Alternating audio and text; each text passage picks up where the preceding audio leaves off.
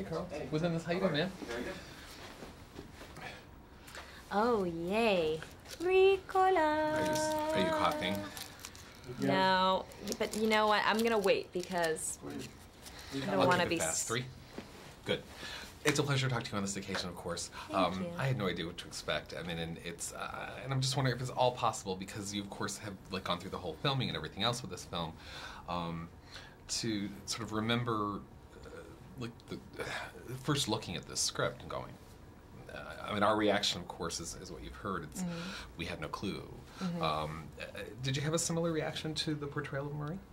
It was very. Uh, Sofia's scripts were pretty sparse, so it was more about the pictures in the front of the script and her talking about it with me that really made me understand what kind of film she wanted to make. And that film to me was a whole universe that I'd never explored and very frightening to play the lead, to play Marie Antoinette, but to not play a queen in a sense and to really try to play her as a human being and not get caught up in expectations of a, of a historical film.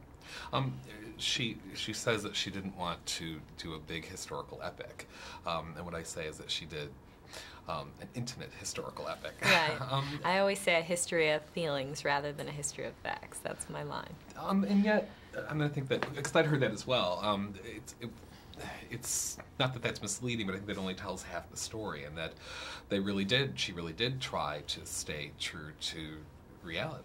Well, it was telling their story, you know. I think that um, they're in this this kind of pretty prison, and she, she's this childlike queen. She doesn't really know what's going on. She's a teenager, and she's trying to find her identity in this place that that everyone's watching every move she makes, and she's not procuring, you know, she's not filling her duty of what she's was sent there, which is basically to have an heir to the throne. So none of this is kind of working out for her and you know and there's all this pressure and i think that you can just for versailles you can get lost in that whole world and not really know what is going go, what's going on, on the outside Um, as if you hadn't heard enough superficial, silly questions today, I have to ask about the, just the clothes in general.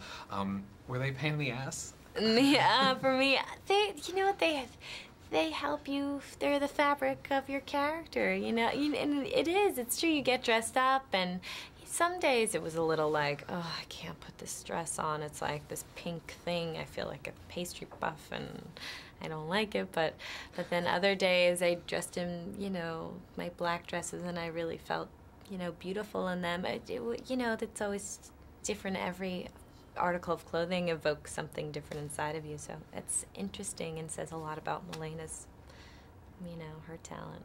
Um, Sofia, I mean, I think has clearly evolved. I mean, it's only been three films, but uh, did you notice any differences?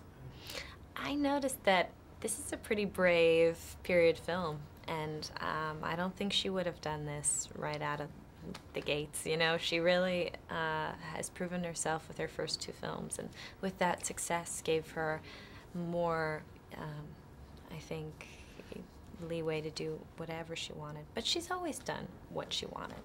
I think this is just probably the the bravest one.